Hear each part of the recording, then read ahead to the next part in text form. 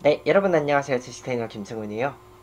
제가 오늘 진행 방식을 조금 바꿔봤어요. 드디어 이제 교육 방송을 진행 방식을 좀 바꿔봤는데 그 드디어 네 제가 이 진행 방식을 조금 그 바꿨어요. 진행 방식을 이 PPT 진행 방식으로 그 이제 PPT 형식으로 바꿨는데 제가 파워포인트를 여기다 띄우지는 못하고 왜냐면 이게 그 PC 사양의 그 문제로 인해서 제가 PPT로 띄우진 못했어요.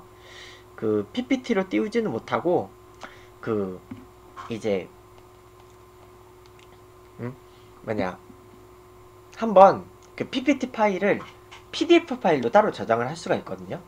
그 PDF로 따로 저장을 해가지고 그 웹화면 캡처로 지금 이거를 스크롤을 내리고 있어요. 왜냐면 그 파워포인트에서는 그 파워포인트를 그 전체 화면으로 하지 않는 한 그 진행이 안 되는데 이게 한쪽 화면을 전부 다 캡처를 해버리면 그 한 가지 문제가 생겨요.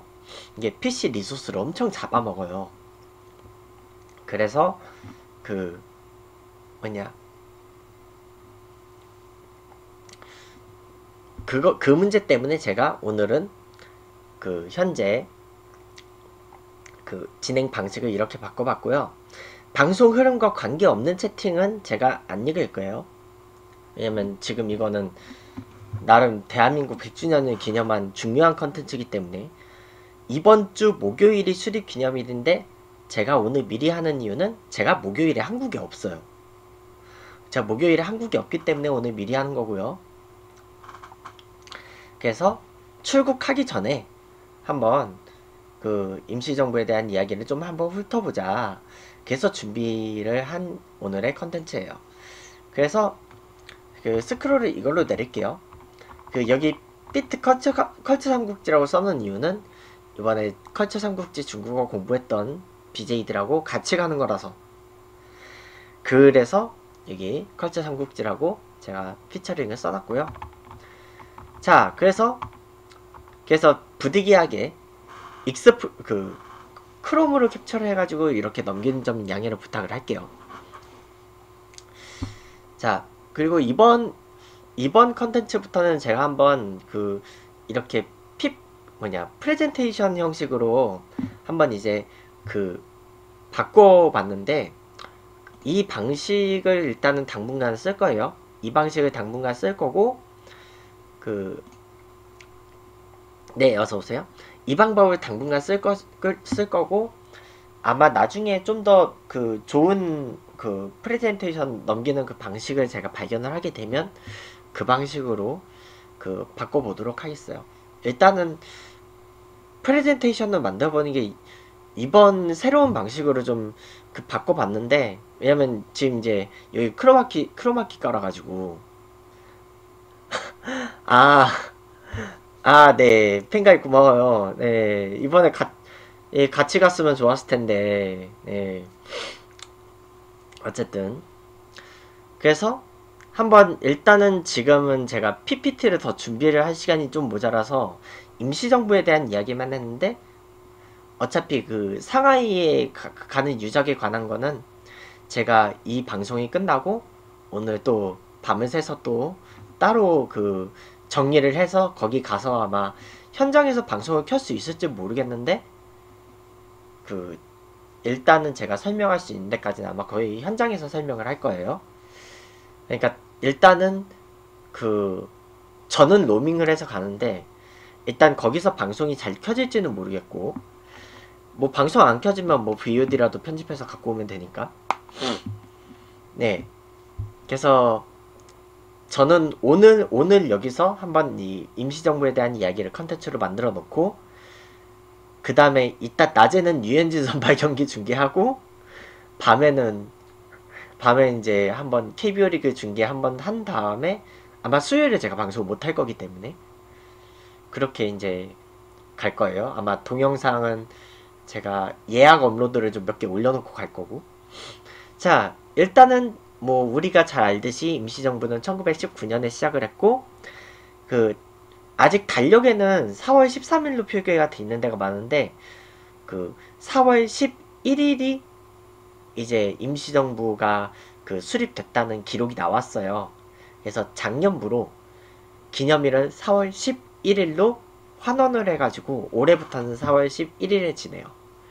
달력에는 이제 이제 미처 달력을 만드는 사람들이 정보를 수집을 못해서 그래서 뭐냐 여기 여기 여기 요 달력에도 여기 요 달력에도 4월 13일로 돼 있어요.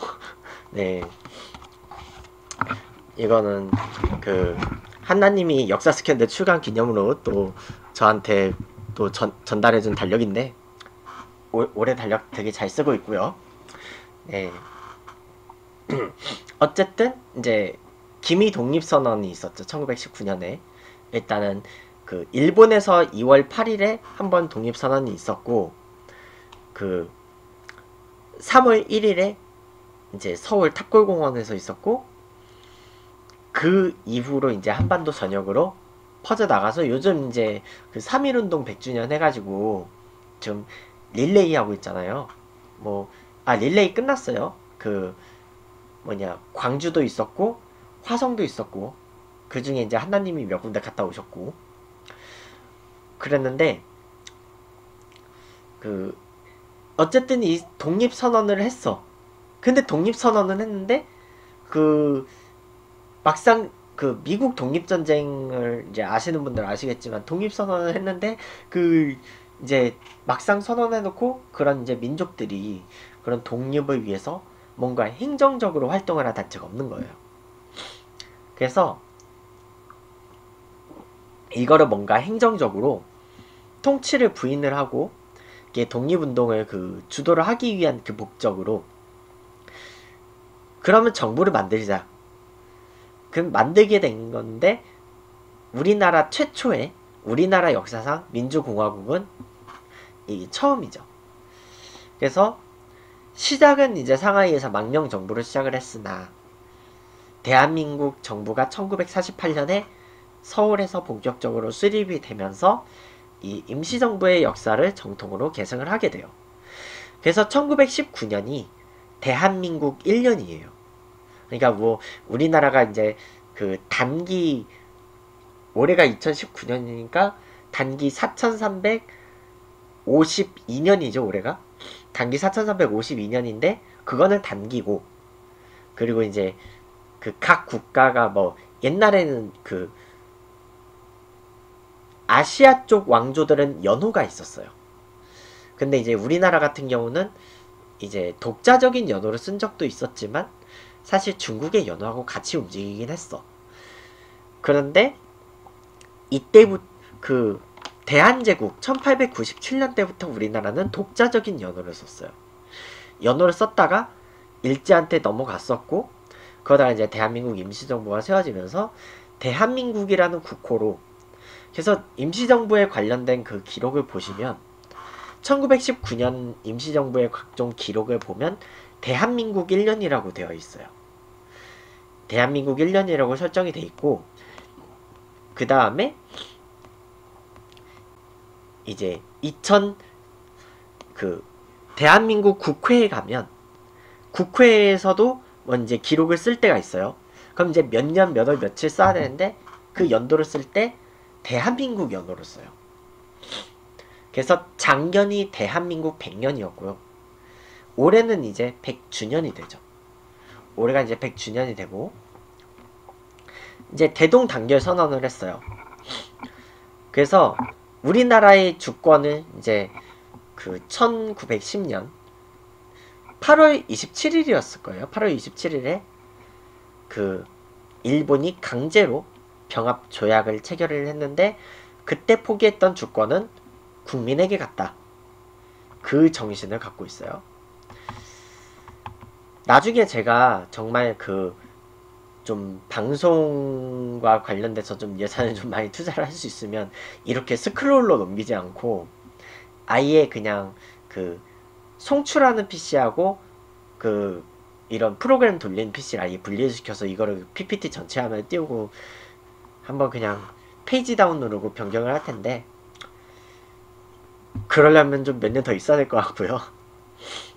어쨌든 그 사실 이 독립선언이 이뤄진 계기는 신한청년 청년단이라는 이 단체의 활약이 있었기 때문에 이뤄졌던 일이에요. 일단은 결성은 상하이에서 됐고 그 일제의 불법적 통치에 저항하고 공화정을 확립하기 위해서 그래서 만들어진 게 신한 청년당이고 그 다음에 이제 파리 강화회의가 열렸죠. 이제 제1차 세계대전이 1918년에 종전이 돼요. 1918년 가을에 제1차 세계대전이 끝났는데 음, 그에 대한 이제 전후 처리 문제. 보통 그 전쟁이 일어 난 전쟁이 끝난 다음에 뭐 이제 영토 분쟁이 있었을 거 아니야. 보통 영토 분쟁은 전쟁이 일어나기 전 시점으로 돌려요. 그래서 그 이제 프랑스하고 독일이 영토 분쟁이 있었는데 알자스 로렌 지역의 영토가 이제 1980년 1800년대 후반에 이 보불 전쟁이 있었죠. 그 보불 전쟁 때 알자스 로렌 지역이 독일한테 넘어갔었어요. 그때 이제 비스마르크 그 있던 그 시대였는데 제이 파리 강화 회의의 결과로 인해서 알자스 로렌 지역의 땅이 프랑스로 넘어가게 돼요.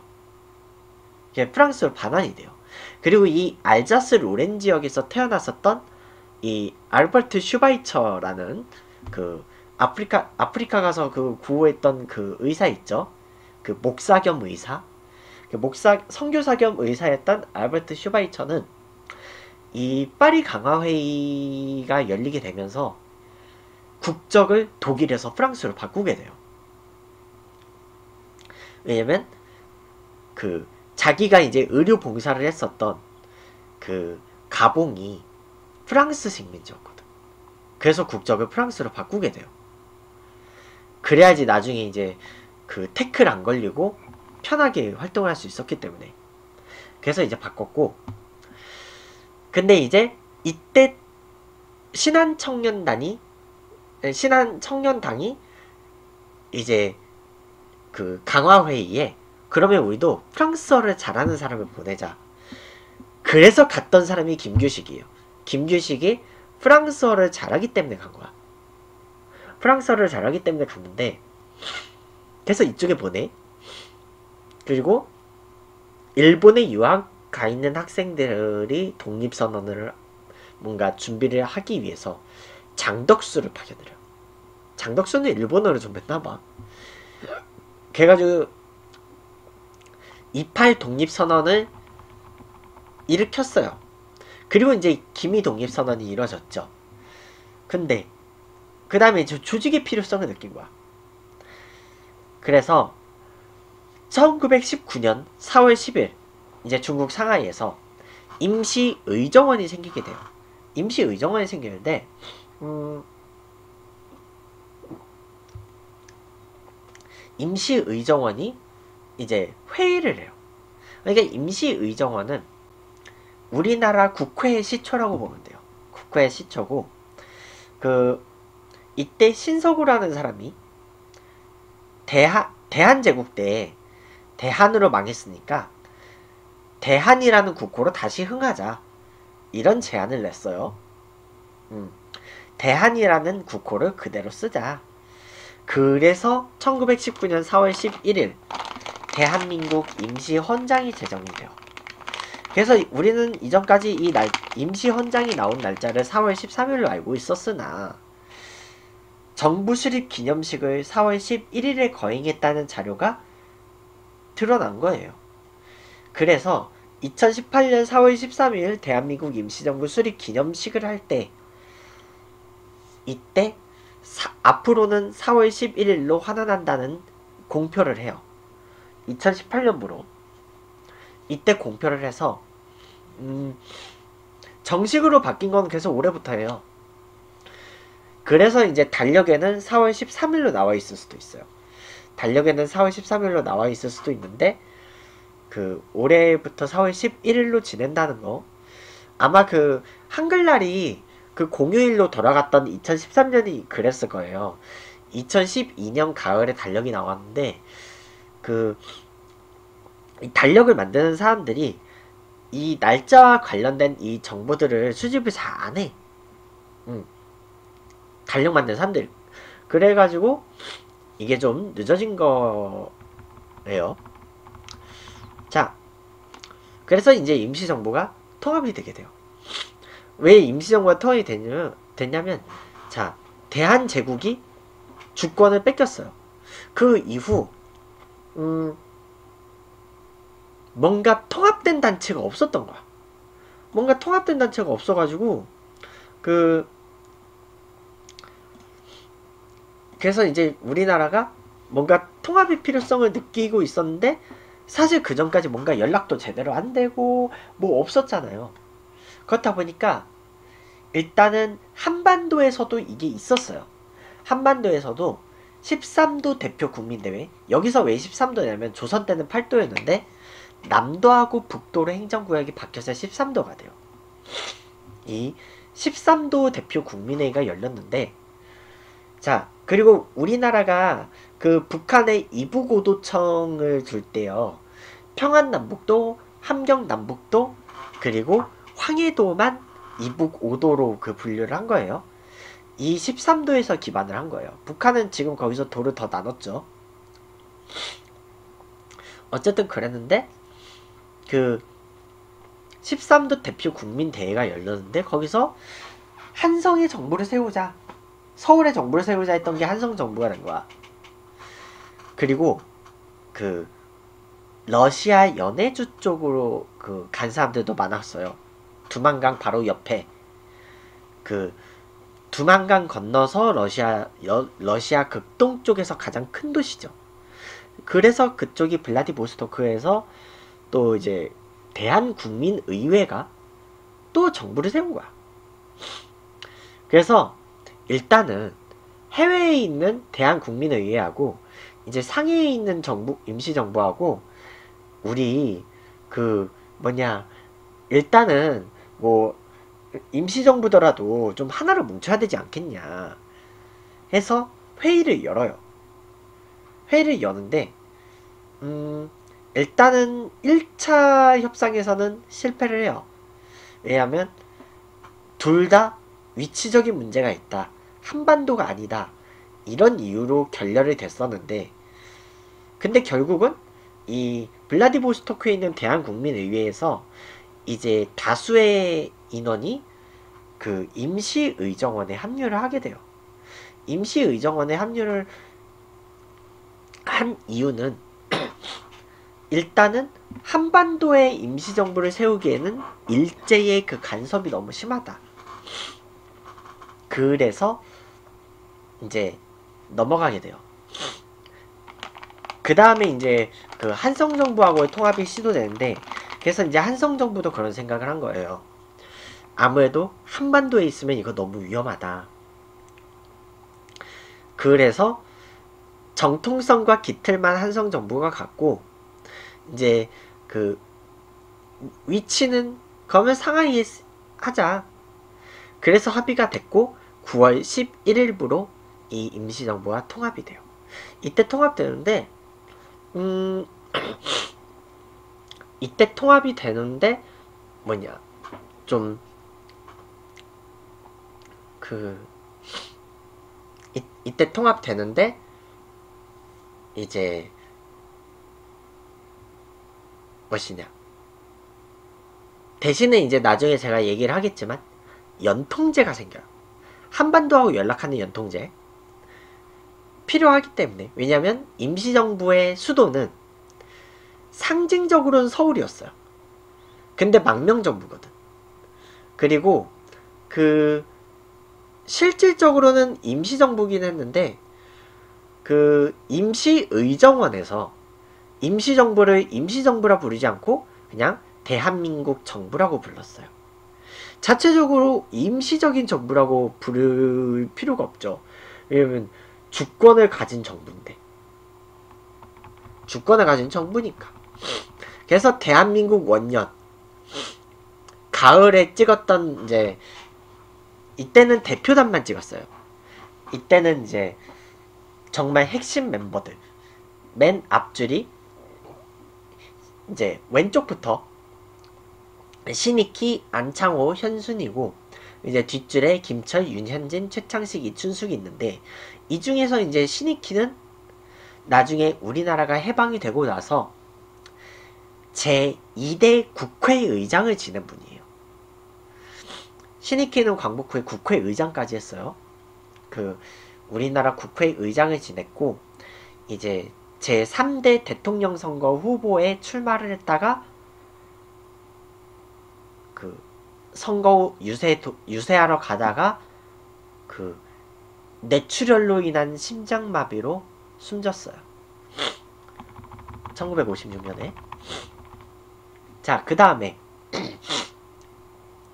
그 1919년에 저 7명이 사진 찍었는데 이제 1921년 대한민국 3년에 바로 이런 사진이 찍혔어요.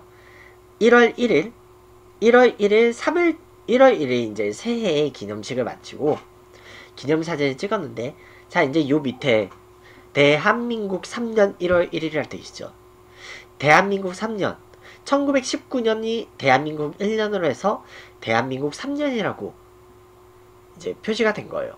자 이제 신년 축하 기념 사진이었고 그 그래서 제일 앞줄에 왼쪽에서 세 번째 백범 김구가 있었고 그리고 두 번째 줄에서 왼쪽에서 여섯 번째에 이동휘가 있었고 그리고 그 옆이 당시에는 되게 젊은 모습이었는데 이승만 이승만 전 대통령이 있었어요. 그리고 그 다음에 거기서 몇 칸 조금 더 가서 좀 코수염 있는 분이 도산 안창호 도산 선생이 거기에 있었어요. 이승만이 사실 상해에 있었던 시기가 이때밖에 없어요. 음, 이, 그 이야기는 제가 조금 이따가 하기로 하고요. 자, 어쨌든 이 대한민국 건국 강령이 발령이 돼요. 음, 중국 손문의 삼민주의 영향을 받은 이 조소왕의 삼균주의, 정, 교육, 그러니까 정치, 경제, 교육이 균일화돼야 된다. 이런 삼균주의가 있었는데 사실 이 삼균주의가 약간 좀 그 사회주의 사상을 살짝 담고 있어서 쓸까 말까 했는데 썼어요. 그리고 그 조소왕의 경우는요. 나중에 한국전쟁 때 납북돼요. 안타까운 얘기지만 한국 전쟁 때 납북돼. 이분은. 그렇고, 음, 그래서인지 모르겠는데, 이제 공산주의자들을 좀 흡수하기 위해서 1940년대에는 구, 국유화를 선언을 하게 돼요. 물론 이때는 일본이 전선을 확대했던 영향도 있지만. 자, 그리고, 이제 대한민국 임시정부의 창립 멤버 제가 가나다 순으로 정리를 해놨는데 김대지, 김동삼, 남, 남형우, 김철, 백남칠, 선우혁, 손정도, 신서구, 신익희, 신채호, 신철, 여훈영, 여운홍, 이광, 이광수, 이동영, 이시영, 이영근, 이회영, 조동진, 조동호, 조성환, 조소왕, 조왕구, 진희창, 최근호, 한진교, 현장훈 그리고 이름이 밝혀지지 않은 한 분이 더 있어요. 그렇게 스물아홉 명이 있었어요. 그리고 그 이제 신한청년당 출신이 김철, 선우혁, 손정도, 신석우, 여운영, 이광수, 조동호, 조서왕, 한진규 등이 있었어요. 자, 근데 이제 이광수는 나중에 친일을 하죠. 음. 그리고 김구 같은 경우는 사실 신한청년단의 신한청년당에 관여는 하는데 이때는 없었고 이 창립된 지 며칠이 지나서 임시정부를 방문을 하게 돼요. 그래서 이때 갔을 때는요. 그 김구가 그런 얘기를 했었대요. 백범일찍 보면 알겠는데 우리나라 정부가 생기면 나는 문직이라도 하고 싶었다. 그래서 갔더니 임시정부 위원들이 어우 백범 오 백범 선생님 어떤 역할을 드릴까요? 하니까 문지기를 시켜주세요. 하지만 뭐 그렇다고 진짜 문지기를 맡았겠어요. 음. 그리고 그 김규식 같은 경우는 신한 청년 당원이기는 했는데 1919년 파리 강화회의 때 파리에 있었고 그 이후 이제 미국에 가 있었어요. 그래서 이 창립 과정에는 미국에 있었기 때문에 이때는 안 꼈는데 나중에 합류해요. 자, 그 다음에 임시정부의 형태는 일단은 기본은 의원 내각제였어요. 의원 내각제가 기반이었는데 순수하게 의원 내각제였던 시대는 1925년부터 1927년까지밖에 없었어요. 일단은 1919년부터 1925년까지는 대통령제를 썼어요. 근데 형식적인 대통령이었을 뿐이고 사실상은 국무총리하고 이제 내무총장 안창호가 그 국무총리 대리까지 했어요. 음. 그래서 의원 내각제다 보니까 대통령이 있기는 했는데 대통령이 힘이 약했어요. 대통령 힘이 너무 약하니까 이승만은 그런 생각을 한 거야. 나는 미국에서 그 대통령제 봤는데 미국은 이렇게 대통령이 약하지 않았다. 어? 아예 미국식으로 바꾸자.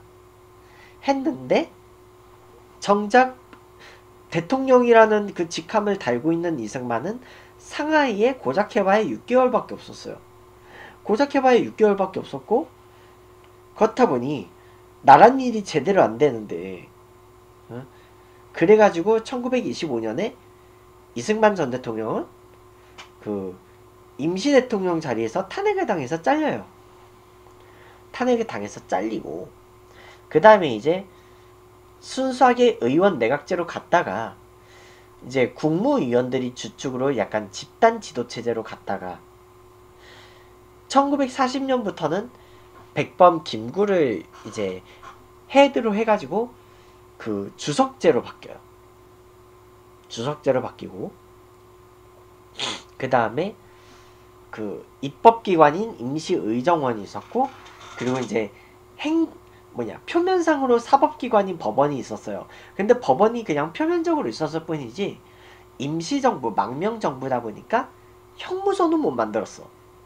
사법 처리를 해야 되는데 구속을 못 하는 거야. 법정 구속을 못 하는 거야. 그렇고 그리고 이제 행정기관인 국무원이 있었어요. 국무원이 있었고요. 그래서 임시의정원은 대체로 이런 모습이었다. 걔도 나름 그 회의 장소라고 그 나름 회의 장소라고 책 테이블 있고 의자 차려져 있고 그 찻잔이 있었다. 찻잔이 있었고 참고로 이 임시 의정원 사진은 그 상하이 상해 사진이 아니고 중경이에요. 중경이 있었던 중경이 제일 오래 머물러 있었거든 나중에는. 음. 뭐 그렇다고 해요. 자 그리하고 음 그래서 임시의정원이 1919년 4월 10일에 창설됐는데 그 전국 각도에서 지역구 의원을 총 29명을 선발한 거예요. 왜, 왜 29명이 됐냐면, 음, 인구 숫자가 많은 도는 6명씩 뽑고, 인구 숫자가 적은 도를 3명씩 뽑았어요. 어쨌든 그래서 강요도를 선출했고, 그 임시헌법 논의하고 당시 초대 임시의장은 이동영이 맡았는데 이동영 역시 이제 임시정부를 맡다가 이제 중국에서 돌아가셔요. 그래서 이 임시의정원의 의원이 되는 자격은 일단 각 지방 출신이어야 되고 최소 중등교육을 이수한 만 23세 이상의 남녀만 가능했어요. 어느 정도 머리가 있어야지 그 일을 하죠. 그리고 이제 지방 인구에 비례해서 정하되 그래서 인구 30만 명당 의원을 한 명씩 고른 거예요. 그래서 의원이 29명이 된 거야. 아니, 그, 더 된 거야, 인원이. 그래서 30만 명당 의원 한 명을 뽑았는데, 그래서 인구가 많은 6도에서는 6명, 그리고 그 강원도하고 황해도에서는 두 도씩 뽑, 그, 세 명씩 뽑았어요. 그 경기도하고 나머지 그 다섯 도는 남도하고 북도가 나뉘어져 있죠. 그래서 인원을 좀 더 많이 뽑은 거예요. 경기도는 수도권이라 인구가 많았고. 자, 그때도 수도권에는 인구가 많았어요. 그래서 그 이제 국내 대표 42명을 뽑았는데 이제 국, 국외 교포들을 대표하는 의원들도 뽑았어요. 그래서 중국의 이민자 대표 3명, 소련의 이민자 대표 3명, 미국의 이민자 대표 3명을 뽑아왔어요. 음. 그렇고 그래서 그 원구역 및 구별구역에 그래서 임시선거회를 조직을 해놔. 근데 실질적으로 거기서 이제 뭐 제대로 투표가 됐을지 모르겠는데 무기명 단기 투표를 했고 임기를 3년을 정해놓고 연임은 가능하게 연임은 가능했어요. 뭐 지금도 뭐 국회의원은 연임 되죠. 음. 그러고 이제 임시의정원의 첫 회의가 그래서 4월 10일이었고 이제 임시의정원의 회의는 총 39번이 열려요. 그리고 마지막 회의는 1945년 8월 22일 충칭에서 열 이제 그 어, 이제 우리가 해방을 했다. 그래서 이 8월 22일에 마지막 임시의정원 회의를 거치고 그 다음에 이제 어떻게 이제 일이 진행이 됐는지는 제가 오늘 후반부에 이야기를 할 거예요. 임시의정원에서 그래서 임시 대통령을 뽑았는데 이승만 전 대통령이 뭔가 한 게 제대로 없죠. 그리고 이제 7부 1국 체제였는데 그 내무부, 법무부, 재정부, 외교부, 교통부, 국무부, 항무부가 있었어요. 자, 여기서 이제 그 군무부 군무부는 군대 담당이었고 그래서 이제 뭐 그동안에 단체로 존재하고 있었던 독립군들하고 뭐 연락하고 뭐 그런 역할을 했고 항무부는 이제 당연히 교육 담당이고 그리고 이제 외교부 당연히 대외 외교 해야 되고 재정부 경제 관리 해야 되고 내무부 법무부 있고. 자 그리고 교통부가 왜 이렇게 큰 부서였냐? 당시에 교통부가 이렇게 큰 부서였던 이유는 정부가 한반도에 없는 거야. 정부가 한반도에 없으니까 그러면 그 국내에 연락을 할 통신이 있어야 된다는 거예요. 그래서 한반도하고의 그 연락을 위해서 교통부가 있었던 거예요. 음. 형무소는 없었고요. 그래서 이제 임시정부가 그 시대에 따라서 어떻게 이동했는지는 여기 이 지도를 참가를 참고를 하면 되겠어요. 상하이에서 활동을 하다가 그 윤봉길 의사의 의거 이후 이제 더 이상 상하이에 있을 수가 없게 된 거예요. 상하이에 있을 수가 없게 돼가지고 그때부터 일단은 난, 남, 난징, 남경으로 갔어요. 남경으로 간 이유는 당시 중국의 국민당 정부가 여기에 있었거든. 항저우 거쳐서 난징으로 갔어요. 그래서 난징으로 갔는데 난징으로 갔다가 이제 그 이후 중일 전쟁이 일어나면서 중국 국민당 정부도 이제 계속 도망을 가게 돼요. 계속 도망을 가, 서그 그러니까 따라서 이동을 한 거야.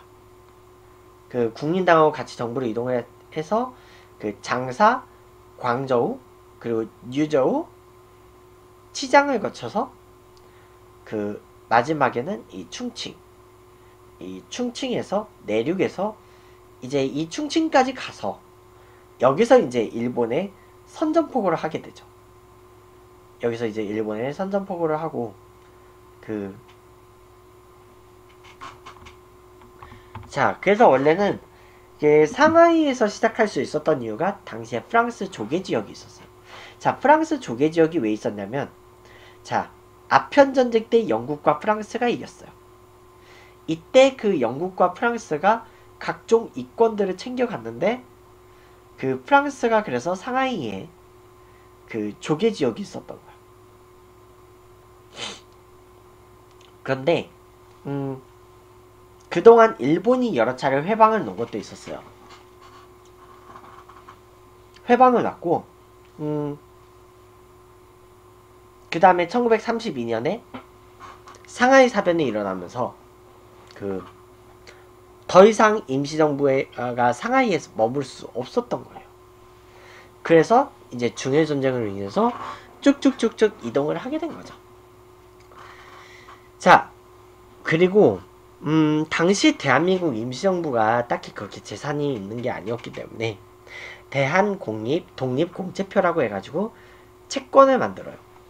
자, 채권을 만들고 그래서 원래 이제 그래 독립 후에 정부가 수립이 되면 자 대한민국 정부의 수립 기점부터 그 수립 기점부터 해가지고 5년이 지나면 상환을 시작하자. 그래서 이거를 30년 이내에 갚자. 했는데 문제는 대한민국 정부 수립이 1948년이고 그 5년 뒤가 1953년이에요. 1953년이면요. 한국전쟁 끝물이에요. 이 한국전쟁으로 인해서 원래 계획대로 상환할 수가 없게 된 거예요.